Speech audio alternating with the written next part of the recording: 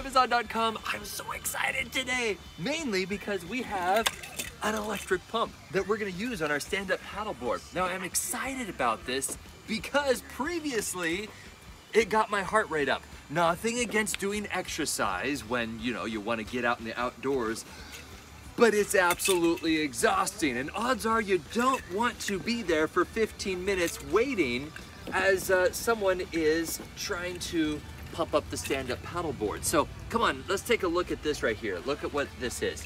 So um, we already have it plugged in to our cigarette lighter in there. And then uh, you turn it on simply by uh, pushing this on and then it flashes and then you can adjust the PSI. It pretty much remembers what the PSI is last time.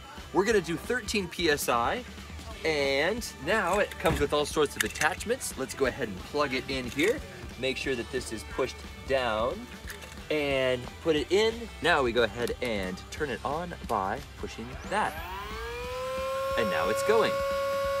Now evidently there is a high pressure option which when you get to a certain amount, you're gonna have to hold this down for about three seconds. Check it out. One, two, three. And that's a bit more power if you'd like. And then you push that to turn it off.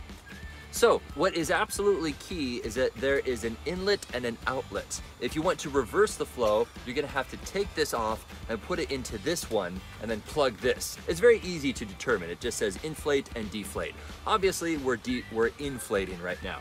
So let's go ahead and we have our PSI at 13 and a half. Sure, that's good. And go ahead and push it. And now we just sit back and relax.